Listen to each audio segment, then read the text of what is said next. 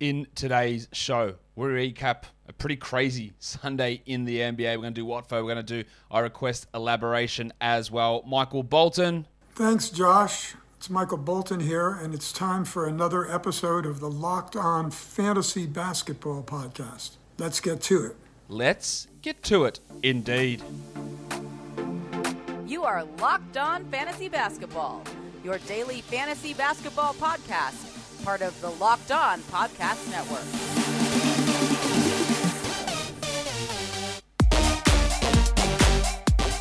Hello and welcome to the Locked On Fantasy Basketball Podcast brought to you by Basketball Monster.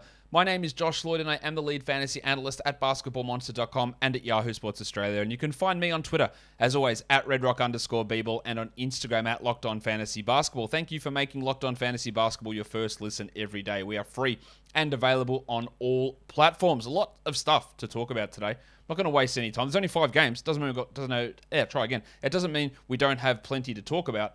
Let's get into the news. Um, Luke Walton fired. Is it about time? Absolutely, it is. I have mixed thoughts on this, uh, and I'll tell you what the mixed thoughts are. Um, look, Luke Walton should never have been hired to begin with. Luke Walton should have been fired after year one. Luke Walton should have been fired after year two. I don't think there's any real argument you could make against any of those thoughts you can, you can make your arguments. I'm not going to buy them, but you could make your arguments that, that that's yeah, that that's not true. It is true. He should have been fired uh, straight away. He shouldn't have been hired. Should have been fired straight away. All right. Is it right that he's fired now? Absolutely, based on performance. It made no sense. But my problem with the Kings is, I don't want Luke Walton out of a job. Like you know, I, I don't want people losing their jobs. But he, this is not his role. He needs to be an assistant coach somewhere. The problem is, this is why, why bring the guy back? Through the off season, give him another chance of 17 games, so that you have to his system is working through preseason. It's his coaching staff. It's his rotate. All that stuff. You have you don't have a new coach that comes in and that can bring that stuff in in the off season. You wait 17 games. Ludicrous, ludicrous stuff. You haven't saved. How much extra money have you saved by waiting three months here to fire him? That's the thing that's stupid. I suppose the argument against that is you could say, well, you know, better late than never, or why wait any longer? And I agree with all that. And I can't go back and change change time. They can't go back and say, well, we'll go back in time and fire him in June or May. Like they can't do that. They should have, but the fact that they waited this long is just another in a long line of screw ups from this dysfunctional franchise. I feel sorry for Kings fans. I don't know if it's on Monty McNair or if it's your mate Vivek, you know, doing bullshit stuff behind the scenes. I'm going to lean probably towards the latter there. Just consistent, ridiculous stuff from this Kings franchise. Walton was not an NBA head coach. He did not deserve to be a head coach. He should not have coached this season. But that decision needed to be made ages ago, at least in the off season, not now. Now the question that every fantasy person has is, "Oh, what does this mean? Who's the ad?" Multiple people. Do I go and add Marvin Bagley now? Luke Walton wasn't Marvin Bagley's problem. Let's be clear. Luke Walton was not holding Marvin Bagley back. In fact, I would say Luke Walton played Marvin Bagley too much in his first three seasons. And I think some of that was front office stuff. And I'm sure him not playing now is not Walton going against the wishes of the franchise. It wouldn't have been him going, Monty, I know I'm on thin ice, but can I tell the number two overall pick from three years ago that you know, the previous regime screwed up on? Can I just tell him to go fuck himself? Yeah, no worries. No, no, Luke, we disagree with that vehemently, but you're a coach with such solid footing that you can go and do that. There is no way that that happened. So it's not like I don't think a new coach is coming in and saying, Marvin, we figured out the problem. It was Luke, not you all along. Here's 30 minutes, go sick. Maybe I'm wrong on this, and maybe Bagley will come in and they'll start him and he'll put up huge numbers. I doubt it. I just don't think it was Luke Walton holding him back. Does this help unlock De'Aaron Fox? Maybe. I don't know. Fox's problem seems to be the shots aren't going and not necessarily Walton, although the offense is horrible. Um, does this mean more consistent minutes for Richaun Holmes? I'd like to think so. I'd like to think that it does. But I don't know. Alvin Gentry, don't get me wrong, I had plenty of shit things to say about him as a coach. He was not particularly good in New Orleans. Go back to one of his comments about you know Jrue Holiday, how it was easier for him to play him more minutes if you brought him off the bench versus starting him. There's one that comes to mind. He was not a particularly good coach, Alvin. And you know, that's the problem with firing Walton now is that you just go, well, Alvin's here, we'll just make him the the, the coach, versus having a proper um, procedure where you could have got your hands on Wes Unseld Jr. perhaps, who's doing a pretty good job, Jamahl Mosley, who's doing a pretty good job in Orlando.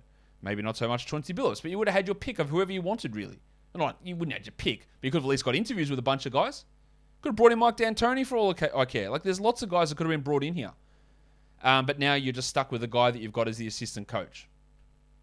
Assistant coaches don't normally make gigantic changes to things, especially initially when they're brought in to replace a fired head coach. So I wouldn't be expecting gigantic changes. Maybe you get a, a small bump in pace. Maybe you get a little bit more consistency with Holmes and that Len Thompson backup center merry-go-round get some stability. Maybe Hield does end up starting over Metu. I don't know. But I wouldn't be making significant fantasy moves under the assumption that Alvin Gentry is going to just fix everything, really. I wouldn't be, um, yeah, I wouldn't be running through all all those sort of things in my mind, thinking, well, this is all going to unlock all this. It happens every time that someone gets, um, a coach gets fired, that people always rush. Well, now this is going to change and this is going to change, and it it generally isn't that. Um, Frank Kaminsky's out indefinitely with a stress reaction in his knee. He wasn't going to play anyway, outside of like three or four minutes a night. He was the third center. He played well when Ayton was out, but don't worry about um, like he wasn't doesn't doesn't change much in the Suns' rotation. Jarrett Allen and Lauri Markkanen look like they'll be back on Monday, so that's good news. Nick Batum is out at least 10 days in health and safety protocols, and if he's out 10 days, I think you can consider him as a droppable player. Nic Claxton, with whatever this illness is, he's out for at least two more weeks. Man, this must be something pretty significant. It's not COVID. He's been out for ages. It's going to be a month long absence for an illness. Hopefully, he's all right. Bruce Brown Jr., more on net stuff. He's out for the next game at least with a hamstring injury. You would think that that's going to be a couple more games there. That opens up Bembry and Mills and even James Johnson for a little bit more um, extra playing time there. And it looks like Klay Thompson's Christmas return is on. We're six weeks away from that, or maybe a bit less than six weeks. Again, Klay will return. He'll play limited minutes. He'll be on a minutes restriction, back to back restriction, I would imagine, for the first month, maybe three weeks. And maybe you're getting full speed Klay by February. I, I would think back to backs last all season, to be honest. Um, and then minutes restriction maybe for the first month. So don't have too high um, expectations of uh, of Klay Thompson as he comes back into action. But you should have high expectations for Prize Picks because it is the best NBA DFS prop game out there. I love it, and I know you're going to love it as well. It's daily fantasy made easy. It is the best NBA DFS prop game out on the market. It's not just the superstars. They've got the bench guys even playing limited minutes. So those of you who want to get your Luka Garza props in, you can do it over on Prize Picks. Points, rebounds, assists, blocks, steals, threes, fantasy points, whatever you can think of. Prize Picks has that. And to get an entry together, get four to five guys, pick their individual over under prop projections, put them together, pick your side, and there you go. You can win up to 10 times your entry fee. And if you sign up using the promo code NBA, you can get a 100% match deposit bonus up to 100 bucks. Entries can be done in under 60 seconds and withdrawals are safe and fast. So head to prizepicks.com, use the promo code NBA, or go to your app store and download or download the app today. Prize Picks is daily fantasy made easy. This will sound like a familiar problem. You got your live sports you watch on one device. You've got your on-demand shows you watch somewhere else. You've got your highlights you watch on your phone, and then you have your neighbors log in for the other stuff. It's just too much. It's too much of a of a uh. It's too much of confusion. It's just too many things. I'm going to tell you about a way you can get everything you love, all that entertainment together in one place. Finally, get your TV together. It is called Direct TV Streaming. It brings your live TV and on demand favorites in one place like never before. So you can watch your favorite sports, movies, and shows all in one place. That means no more juggling remotes and no need to buy another device ever again. And the best part, there is no annual contract. So get rid of the clutter and the confusion and get your TV together with Direct TV Stream. You can learn more at directtv.com. That's directtv.com. Compatible device required and content varies by package let's go back in and have a look. Oh, so we've looked at all the news. What am I doing? All right, we have looked at, at all the news there. So what it is time for now is uh, it's time for I request elaboration. I request elaboration. We're gonna look at De'Aaron Fox. It ties in with the King stuff. Because um, let's let's be honest, he was um, he has been struggling this season. Over the last two weeks, he's the 82nd ranked player. But in points leagues, it's important to note He's averaging 37 fantasy points on Yahoo points leagues, which makes him 33rd. So while we look at the struggles that De'Aaron Fox had, where he was outside the top 170 to begin this season, it's not the case anymore. He's into 116 for the year, 82nd here overall, averaging 22 points, 1.3 triples, 2.3 rebounds, which is anemic, 5 assists, 1.3 steals, and a block in 34 minutes, shooting 46, 35, and 71. They're not bad numbers. All right, 46, 35, and 71 are not bad numbers.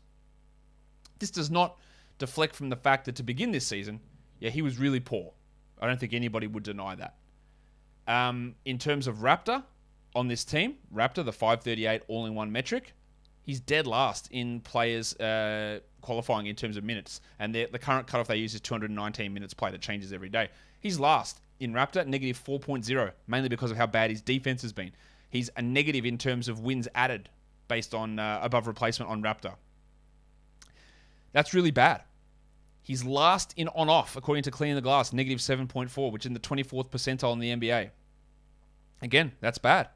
He's 61st in uh, a 61st percentile on EPM, which isn't as bad as some of those other metrics, but still not ideal. And he's 141st in daily plus minus on Darko, and he's been one of the worst in terms of improvement, 476. So his D- Darko DPM, which does project forward, it's dropped off significantly. Last year, in terms of his EPM, he was 86th percentile. He's 61st this year. It's dropped way off. And one of the things that's really intriguing to me is looking at his um, some of his stats over on Darko, where he had yeah, his Darko peaked right at the start of the 18-19 season, and since then it's almost been in constant decline, and now it's sort of hovering right around zero, making him like like an average player for about the last two years. That's somewhat of a concern, I would say, for Fox. Now he can be better than this for sure. I don't think anybody would doubt that, um, but it just it isn't looking good at the moment. So what's off with him? Well, he's shooting at career worst numbers at the rim, just sixty percent. His three point shooting is atrocious. Now, it's never good, but he's at 25% overall from there. Mid range shooting is about the same. He's at 42% on his mids, but 25% on threes. Now, this is a guy that's had a 37% season. He's had a couple of 30 ones, never won under 30. That's probably the biggest thing that is hurting is the fact that his three pointers are just way off. He's also taking um, a lot more mid ranges, which is always going to be a concern. He's in the 93rd percentile on short mid ranges and 88th percentile on um, all mid ranges. So he's taking a lot of mid range shots. He's also his attempts at the rim are also down, but in terms of where that rates with the league, it's actually higher. So he was at 33% shots at the rim last year. He's at 30 this season. But in terms of where that lands in the league, he's actually getting to the rim a little bit more than um, his uh, compatriots. He was 71st, 71st this year and 66th percentile last year. So he's getting to the rim more relatively to the rest of the league, but down down from where it was in the past as he is settling for a lot more mid ranges there, taking a lot more mid ranges than he was last season. And his three point numbers are well, well down 22% only of his threes coming from outside the arc. So that is a, a, bit of a concern. The fact that he's not hitting threes, he's reverting to mid ranges, which is not the ideal shot attempt, and he's not getting to the rim as much, even though he is still getting there uh, at a decent amount um, uh, relatively to his compatriots. I still think that De'Aaron Fox can improve from where he is at the moment. But the last you know, seven games, 22 with five assists, the only thing that really stands out to me there and 1.3 steals is the five assists could maybe be seven. The steals could go from 1.3 to 1.6, but the scoring, the free throw percentage, the field goal percentage, the three point percentage. I don't think you can hope for too much more than that, to be honest. 34% from three, 49 from two. He can be a 50% two point guy, yeah, sure. If he cuts some of the mid ranges out and gets to the rim more, that's probably the change. So I still think he is a bit of a buy low, but we hoped that he would take a big step forward this year. And I don't really have that faith in him anymore. I think he can get back to where he was last year, but taking a big step forward, I don't know. I'm losing a bit, bit of faith in him being able to um, do that. It is now time for Watfo. We did have a winner in one of my Watfos, which someone asked. So I'm not going to. We're going to recap them all at the end of the year, but I'll, I'll let you know what this one was. It was um, what are the chances? What are the odds that Dwane Casey is the first coach fired? And I said it was five percent chance. So I win that one pretty comfortably because obviously Luke Walton is gone. Um, so yeah, win that one. Nice little, uh, nice little boost to my overall score on on that one for Watford. But this one comes from Tyler Isaac. He says, "What is the what are the odds that Mo Bamba averages more blocks than Anthony Davis this season?" And this is a really really tough one to me. Bamba is in the position where we just don't know where his minutes are going to go. When John Isaac returns, does he say it 30 minutes a night, or does he move down to 24 minutes a night? Yeah, that that's really the question here because Bamba currently is averaging 2.2 blocks. Anthony Davis is averaging, if I can find it, 2.3. So Davis is ahead. I do think that I, I do think that there is a chance that Bamba can maintain 2.2, while Davis maybe goes down to 2.1, and that's going to make it really close. So I'm sort of on the fence. I am going to lead Bamba and go 60% chance that he leads or he is, has more uh, average blocks this season than Anthony Davis. We'll see where that one ends up. But where Built Bar ends up is right in the middle of your Thanksgiving table because Thanksgiving's about family, but it's about food as well. And unfortunately, so much of the food, especially the dessert, is high in calories and high in sugar. Built Bar is neither of those things. Built Bar is the low calorie, low carb, low sugar, low fat, high protein protein bar that can be your new dessert alternative. And it is covered in 100% chocolate. So the flavors are there. Coconut cream pie, bang. Coconut Built Bar. Raspberry cream pie, bang. Raspberry Built Bar. Delicious stuff and you can get them at a discount. Head to built.com. You can use the promo code LOCK15 to save 15%. There's going to be Black Friday deals as well. There's plenty of new flavors that keep coming out as well. There's a vanilla cream that just got released. There's a cherry lime that got released. There's a blueberry muffin that got released. Some great flavors there as well. So head to built.com, use that code LOCKed15, and you can save 15% off Built Bar, the best tasting protein bar ever. That'll take us now into the game recaps for uh, for Sunday. The first one of those was the early game. We're looking at the uh, Dallas Mavericks and the Los Angeles Clippers. Not really much of a barn burner in terms of the score here. Really, really low scoring. Pretty ugly game, in fact. Um, the Clippers win it 97 to 91. For Dallas, there was no Luka Doncic, so Porzingis. Porzingis. Another big game, 25 and 8 with two blocks. He's the 13th ranked player over the last two weeks. He's dominating. Um, he is hold on to yourselves. He's 21st this season on a per game basis. This is why you know people hate the bloke. Whenever he gets injured, you always throw a buy low because people will like, oh, I'm going to drop him. I, can't with this bloke. I'm going to drop him. Uh, all right, calm down. Um, he's putting up big numbers, and it, some of it is with Doncic, some of it is without Doncic, which is important. Brunson was great, 20 points, 8 assists, 3 steals. He needs to be on a roster, 43 fantasy points for him as well. He is a sell high. You're just not going to be able to do it because everyone's going to recognize why he's performing at this level. So I'd rather just ride out the increased production and then drop it off later on. But I don't know exactly what to do with Tim Hardaway. In fact, maybe Jack. Get that garbage out of here! Despite having no Luka Doncic, like he's still not really elevating. Eight points on 17%. He had five assists, six rebounds. He's 185th over the last two weeks. He's 174th for the season. It is true that finding points can be hard off the waiver wire, uh, finding uh, bulk points, but is that enough to keep him rostered when he's not really helping in many other areas and he's hurting your field goal percentage so much? I think it's a question that you do need to consider whether that is, you know, whether he is the guy for you. Maxi Kleber returned five points with a block in 20 minutes, while Reggie Bullock went scoreless in 32 minutes. He has been an absolutely horrible free agent signing. I thought it was a pretty solid move, and he just has been shocking, like absolutely really bad. Dwight Powell had nine and five in 19 minutes. His minutes came down, with uh, Kleber back, while Finney Smith had seven points in his 24 minutes. Onto the Clippers. As I said, Batum is in the COVID protocol, so that's at least 10 days. So they started um, the old Fewick himself, Amir Coffey, three points in 25 minutes for the Farmers Union. He is only the very, very deepest of league ads while Batum is out. Paulie George had 29 in 38 minutes, and Reggie Jackson had 23 in 35. Good production for both of those blokes. While with Batum and Morris out, Luke Kennard played 34. Nine points, three threes, two steals, and a block. And he has at least short term value as a 12, if not 14 team league guy. Serge Ibaka was back from the G League. He played 12 minutes. Unfortunately, that meant the end of Isaiah Hartenstein. Hartenstein is still insanely productive. And by insanely productive, I mean he had two points, two rebounds, a steal, and a block. But it came in five minutes.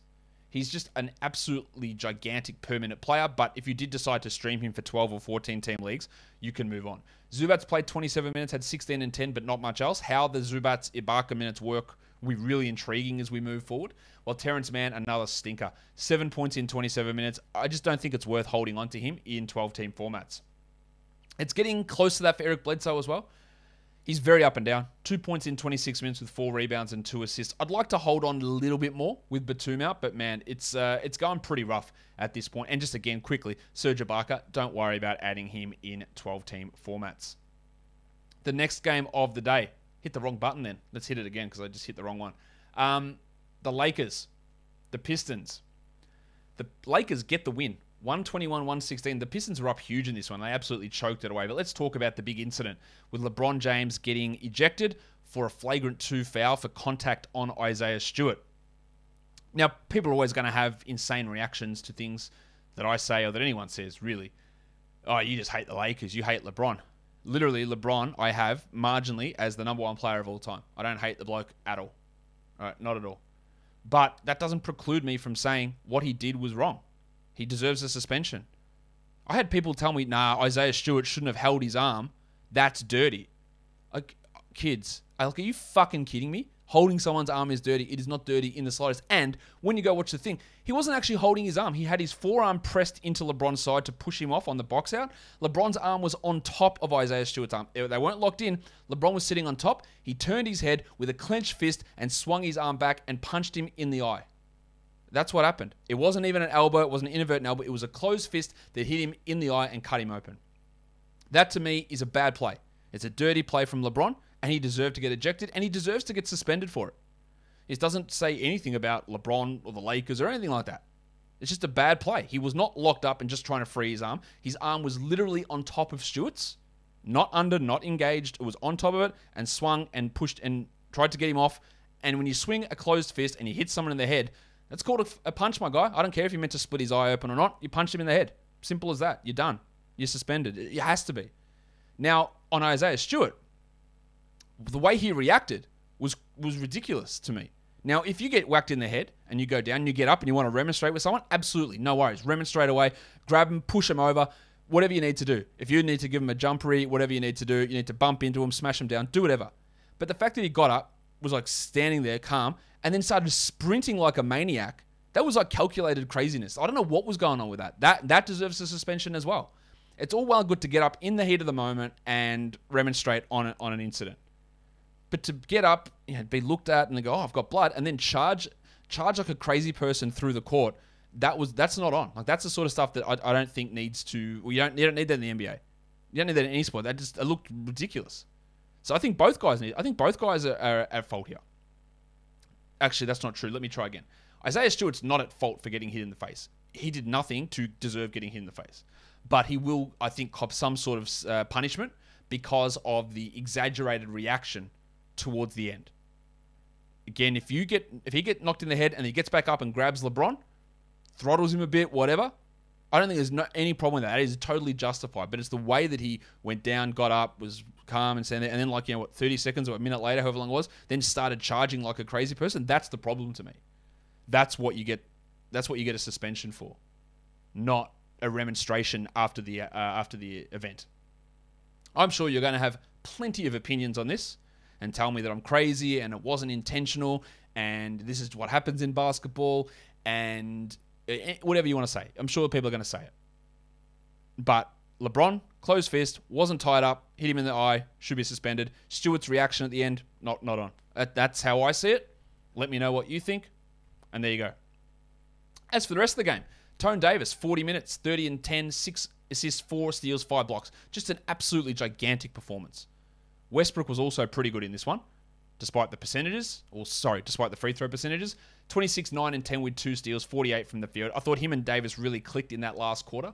Um, and Carmelo Anthony had 18 points in 30 minutes. They also went absolutely insanely back to starting DeAndre Jordan and playing him 13 minutes.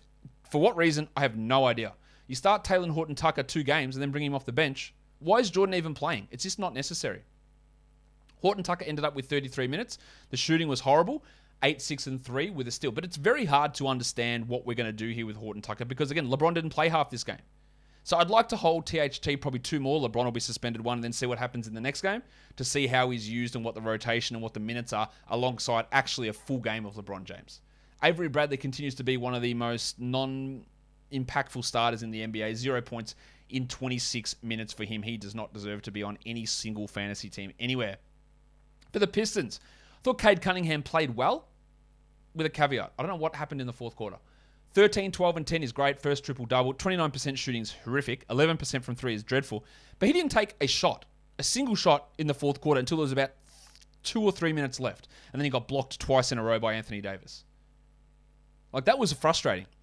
Part of that's on him. A large part is on his dickhead in the suit on the side, Dwane Casey, just not putting the ball in his hands. Like that, that play at the end to try and get a game tying three, give the ball to Cade and let him try and figure it out. Not this whatever they were trying to do. We're going to lob it inside the two point arc so the guy can then throw it back out and you just throw it straight to Davis. Like just get it to Cade and let him try and figure something out. The fact that Jerami Grant was taking ISO long twos and that app bloke, I mean, he's unbelievably frustrating to watch Jerami Grant. Like, it's so painful to watch him play. The long two ISOs that he was doing were were crazy. I just I couldn't I couldn't get my head around it. Um, Jerami Grant ended, he, look, he ended with 36 points. That's great, but he also took 25 shots. He was seven of 10 from line, and just some of his absolute ton of tunnel vision was infuriating. Uh, MC Hamidou Diallo if oh, I can't find the thing. Where's my MC Hamidou? Oh no, this is a disaster. Anyway, can't touch this. There you go. Uh, 17 and 6, two steals and a block. Now that is on really high efficiency, 78%. That's not real. The 21 minutes is fine, but that's likely because Killian Hayes was out. He has obviously overtaken Josh Jackson, but don't look to add him in 12 or 14 team leagues after this. Frank Jackson had 15 in 26 minutes. He's just a streamer for deeper leagues, while Cory Joseph did his best. Killian Hayes with 39 minutes, 5 points, and 7 assists. If Hayes misses more time, then um, Joseph can be a short term streamer. Alf Stewart, hard to judge. 19 minutes, 4 points. That's not great. But of course, he was ejected. And then the depressed penis had another disappointing night 14 4 and 2 for Bey. He still remains a 12 team league guy. But I just I don't I don't see it with him. I don't see him developing into a very good long term player. All right, let's go on to the next game. The Knicks and the Bulls. The Bulls win it 109 106. The double royal Julius Randle.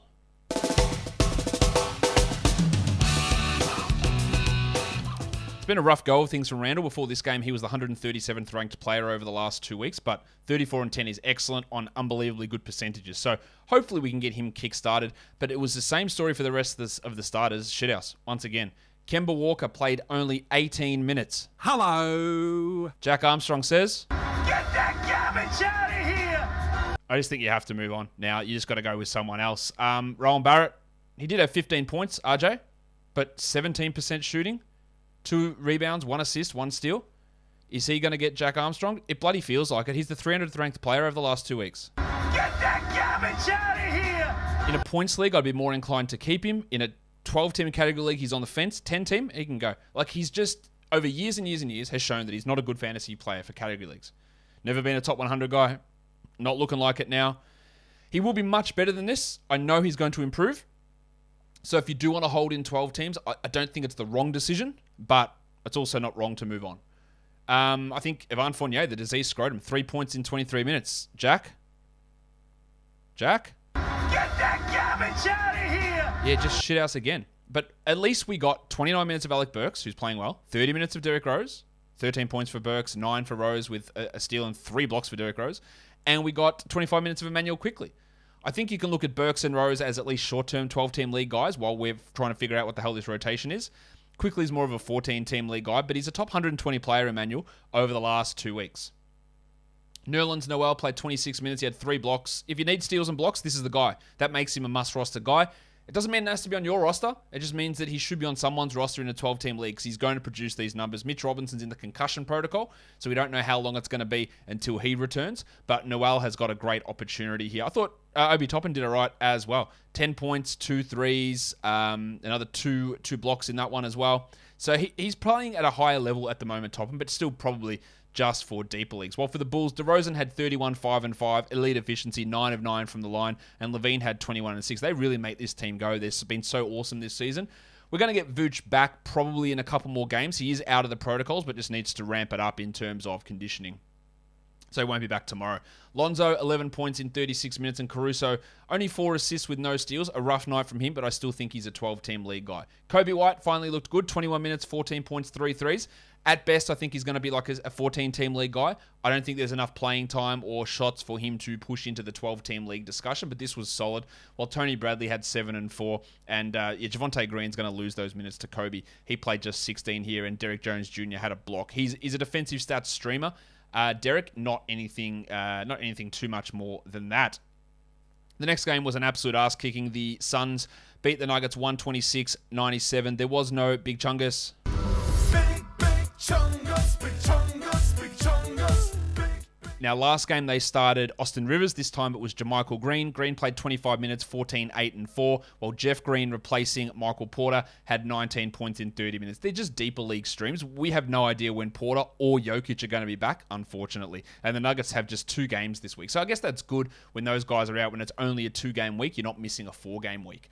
Aaron Gordon was ejected. He had 16, 10, and 4 with two steals, so he does produce when Jokic and Porter are out. We've seen that over these last couple of games. While uh, Bones Hyland again got hurt, played two minutes, sprained his ankle once more. Looks like, yeah, I would imagine a little bit of time on the shelf there. While it was just an absolute stinker from Will Barton.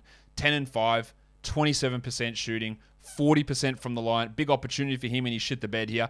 Don't do anything. Don't drop him. Don't panic. don't anything like that. Just was a bad game while Monte Morris had 10 points with three assists. Monte is, at least at this point, a 12 team league stream option. Once Porter and Jokic are back, I really don't see him as a must roster 12 team league guy. While Facu played 27 minutes and Rivers played 28, and they were okay, but not really much as fantasy fantasy actionable.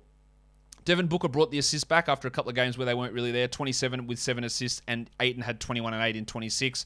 Chris Paul had 10 assists but no steals, but finally a good Cam Johnson game.